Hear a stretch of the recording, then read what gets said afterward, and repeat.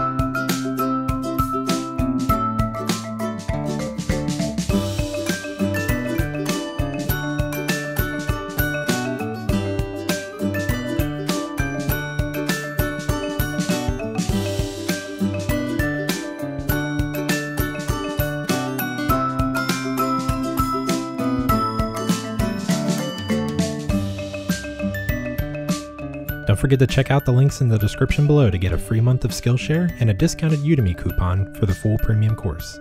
See you next time for another tutorial.